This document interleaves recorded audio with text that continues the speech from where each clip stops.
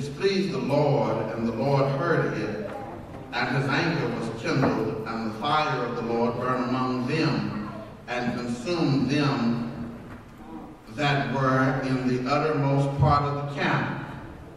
The people cried unto Moses, and when Moses prayed unto the Lord, the fire was quenched. And he called the name of the place Taberah, because the fire of the Lord burned among them. And the mixed multitude that was among them fell a lusting, and the children of Israel also wept again and said, Who shall give us flesh to eat? We remember the fish which we did eat in Egypt freely, the cucumbers, the melons, the leeks, the onions, and the garlics. But now our soul is dried away. There is nothing at all besides this mountain before our eyes. Skip down to verse number 18. And say thou to the people, sanctify yourselves against tomorrow. Ye shall eat flesh, for ye, for ye have wept in the years of the Lord, saying, Who shall give us flesh to eat? For it was well with us in Egypt. Therefore the Lord will give you flesh, and you shall eat. You shall not eat one day, nor two days, nor five days, nor ten days, nor twenty days, but even a whole month until it come out of your nostrils, and it be loathsome unto you, because that ye have despised the Lord, which is among ye, and have wept before him, saying, Why came we forth of Egypt? Amen. You may be seated.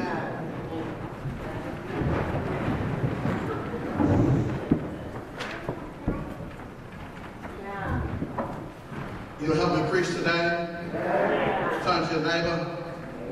Say, neighbor. You. Show. I said show. Look. Good. Turn to your other neighbor. Say, neighbor. No matter how good I think you look. It's not about you, but it's all about Jesus.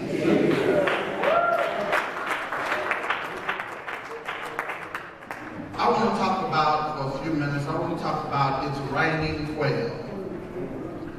It's raining quail. It's raining quail. For 400 years, the people of Israel had not known what it was like to be free.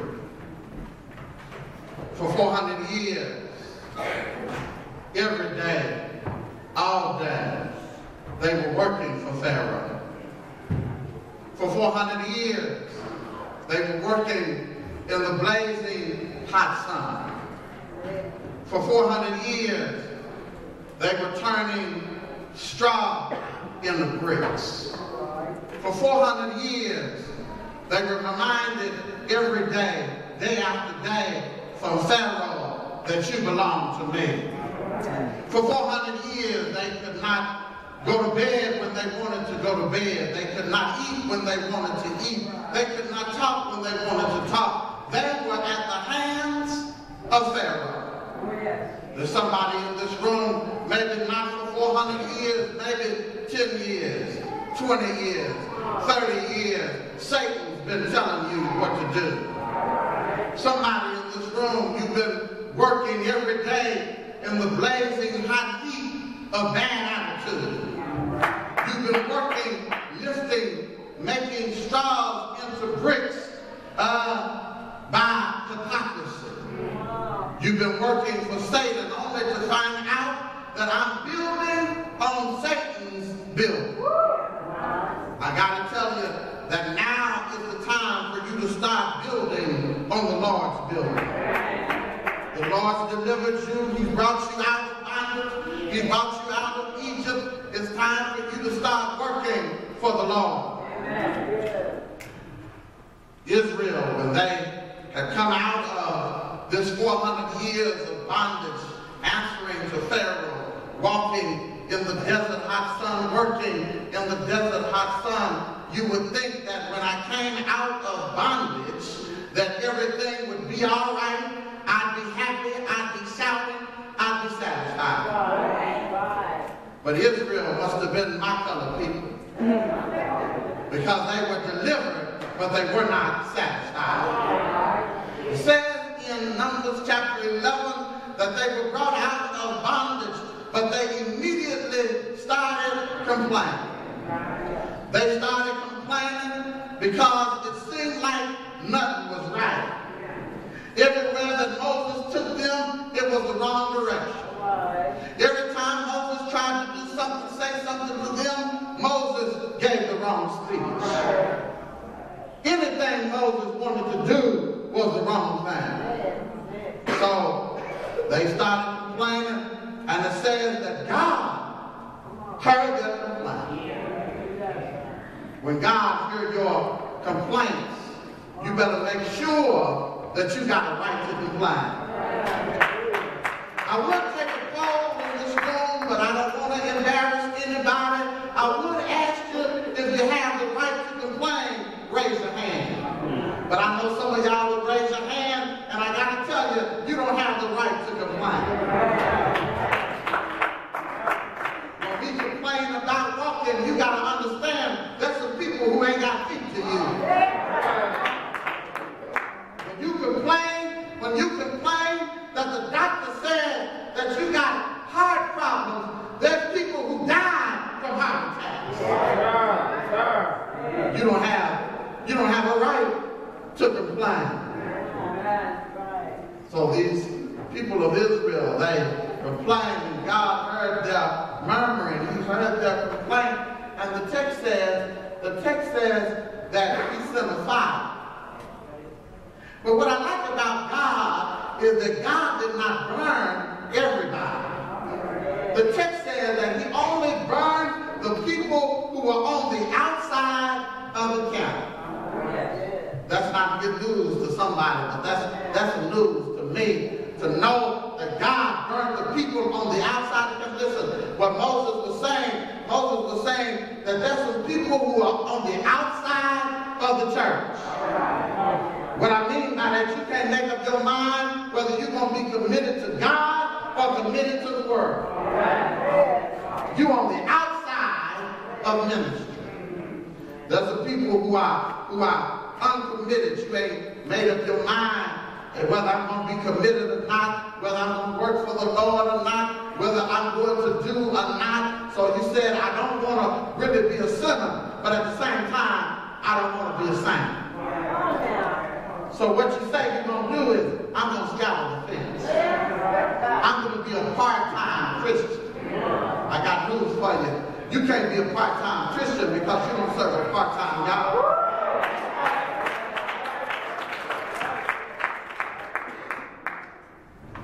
Being a Christian is a full-time duty. Being a child of God is an everyday thing. You can't be a fair weather Christian. You can't look outside and say it's raining. I ain't gonna be a Christian today. What if God looks out the balconies of heaven and says it's raining? I ain't gonna be God today.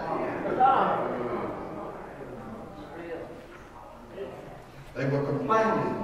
They were complaining. God heard them. He burned the outer part of the camp, but just true to form, just like my fellow people. They still, but said you would think when God started burning, burning the outside of the camp, the people on the inside of the camp would have said, oh my, I'm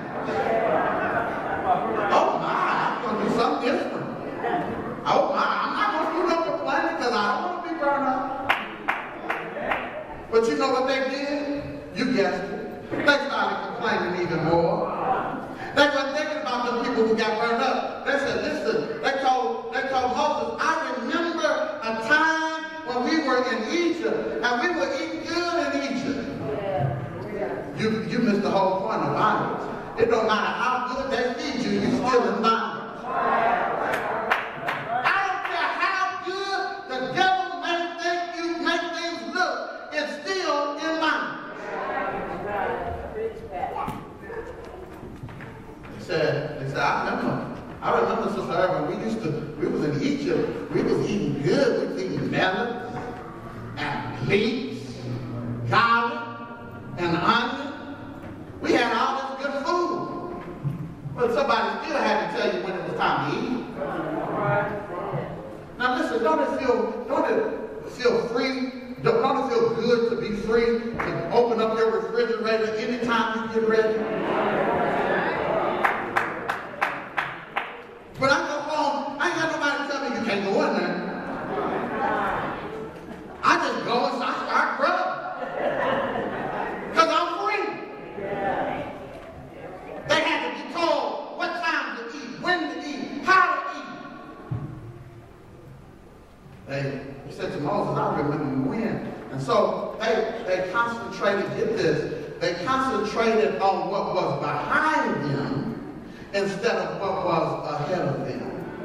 You know, sometimes when we in transition, when we in transition and it seems like the road is hard in transition, just because the road is hard in transition don't mean it's going to be hard always.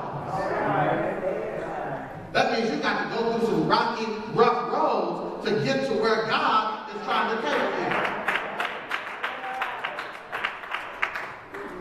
Then I got to tell you, they were concentrating on what was behind them instead of what was ahead of them. Listen, they were not meant to go in reverse. There's some things, there's some things that are not meant to go in reverse. The, the, the Boeing 747.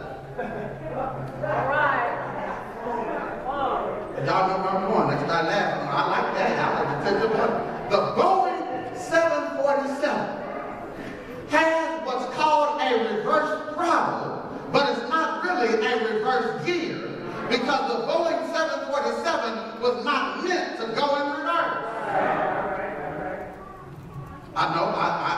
what you think your thoughts have become audible. But why is it that when they pull up at the airport and they pull them forward, how do they get turned around so they, can, they, they don't have to go back?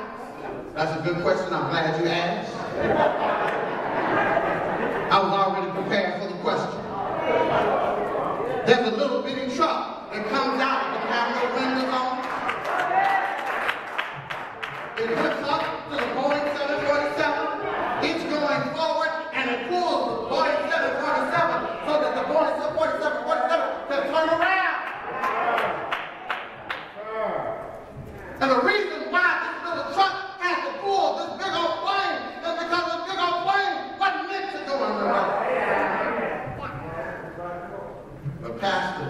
and as I become audible again, I can hear everything you think.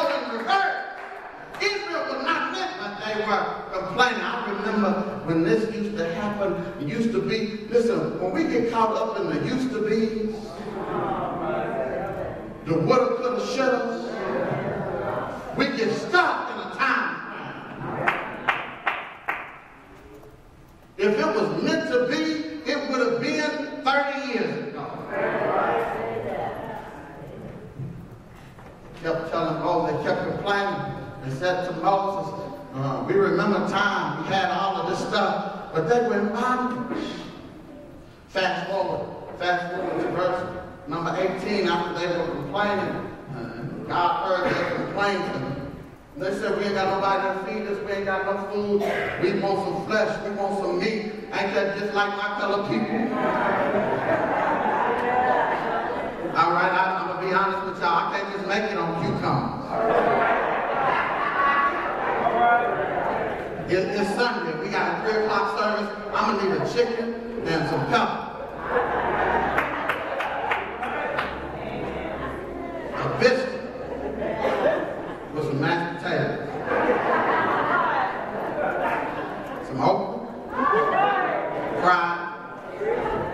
Coleslaw. 32 ounce drink. That's tea on Sunday. Because I need, I need some flesh to eat. I, I can't make it on, I can't make it on y'all smile. Because y'all ain't gonna be smiling forever. I gotta get out there and I gotta get some real food. If y'all don't go get it, I'm gonna go down and hold them hostage. I'm gonna follow y'all until y'all feed me. They needed flesh to eat. Fast forward, fast forward to verse 18. Moses says, this is what the Lord gonna do.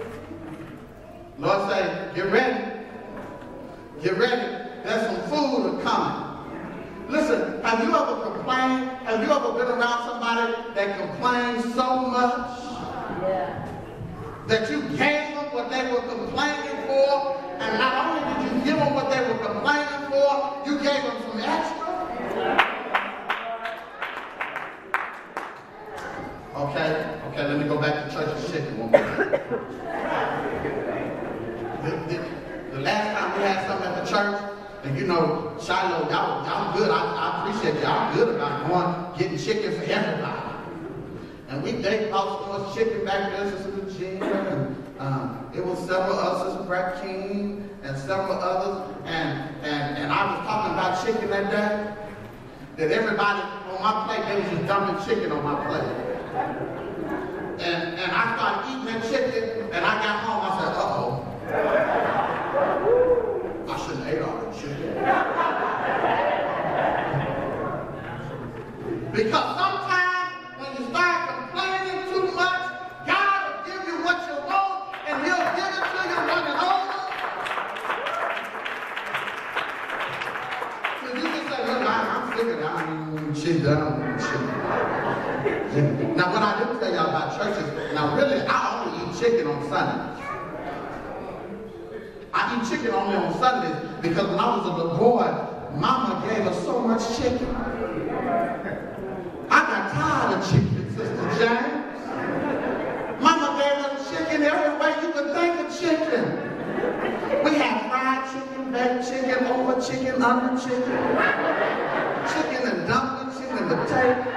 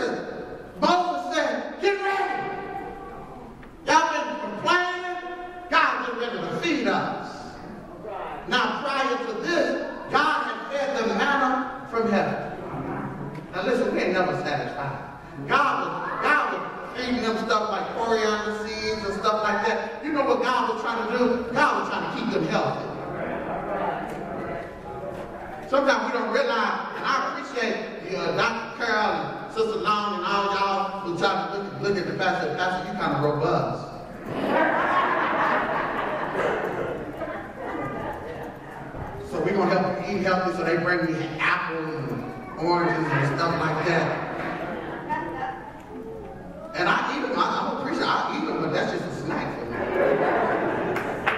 That ain't no kind of food, brother, baby. I don't tell him. I eat it. And I be happy when I be eating it. But I be saying, I show am hungry.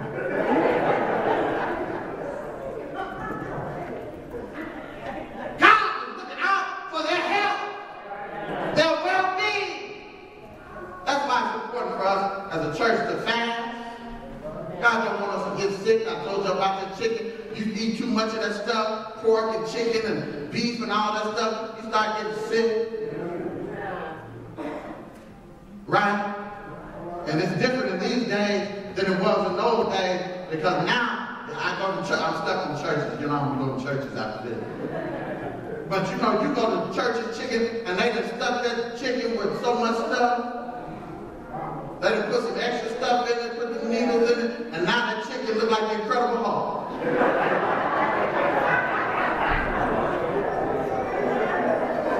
I said, give me two pieces, and they fill up the thing, they fill up the thing, and they been sitting like an open up their mouth, and she said, raw.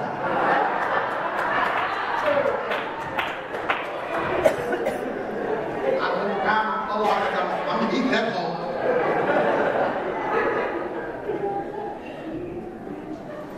Moses said, it's coming, get ready.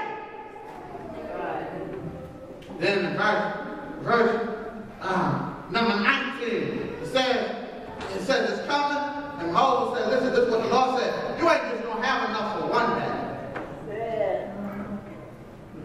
You ain't gonna have enough for two days, or 10 days, or 21 days. Listen, y'all remember, y'all remember when, when, when, when the disciples said uh, to Jesus, teach us how to pray? Part of that prayer is, give us this day our daily bread. Listen, how many of you are thankful just for your daily bread? Now, a lot of times we get carried away. We start asking God for bread next week, next month, next year. God can provide, but we need to be concerned about give us this day our daily bread. And some of us don't know how to be thankful for what we already have. Listen, I think I told you before the story uh, of, this, of this couple. They were going on vacation and they had got to their vacation spot and they, and they were walking the boardwalk to get something to eat. They stumbled across this poor man who, who, who was asleep.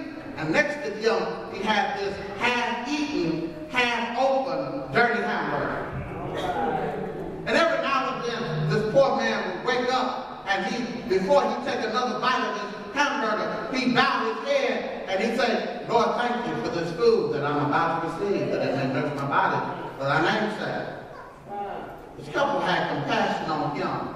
This couple had compassion on him. And so they came upon a McDonald's and they went in McDonald's and they got him a Big Mac, on fries, a Coke, and took it back to the man. And you know what the man did when he got just didn't start eating. He said, Lord, thank you for this food that I'm about to receive, that it may nourish my body for thy name's sake. Amen. He did not differentiate between this, this hot hamburger and this cold, half-eaten hamburger. The man was thankful because he recognized, give us this day our daily bread.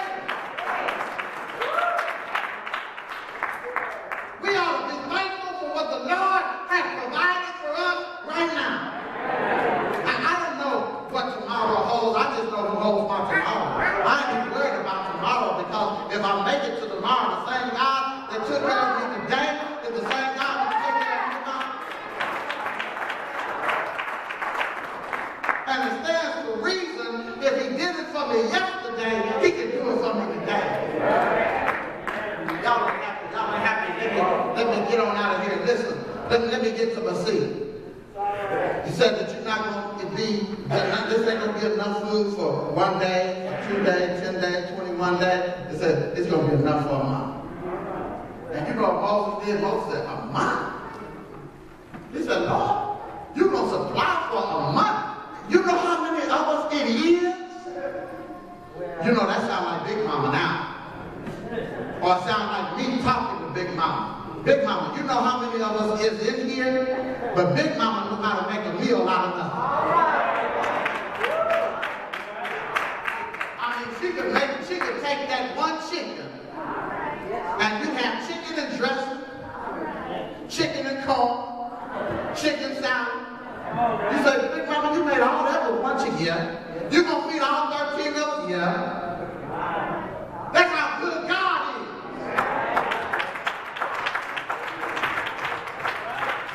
He tells, he tells Moses, as a matter of fact, do you think my arms are too short, my hands are too little, that I can't do what I say I'm gonna do? But here's, here's the miracle. Here's the miracle. They, number one, they were around the sea. Quail don't hang around seas. That's miracle number one. Miracle number two, he said he was going to give them quail for a whole month. In today's translation, there were, there were over a million quail that fell out of the sky. And in those days, that meant that they had quail, Sister Smith, waist deep. They were swimming literally in quail. Good God Almighty, ain't God good? God will give you so much that you'll have you swimming in it. God will have you waist deep in it. That everybody can just walk around, pick up a quail and start eating. That's how good God is. But they were, the, the supply of quail came because of their complaining. Now you gotta watch out when you start complaining. Because the other side of this is that they had so much quail that, that the Bible says that it was gonna start coming out their nose.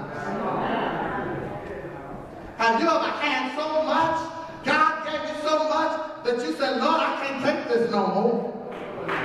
I gotta get in my seat. Y'all don't know when to shout.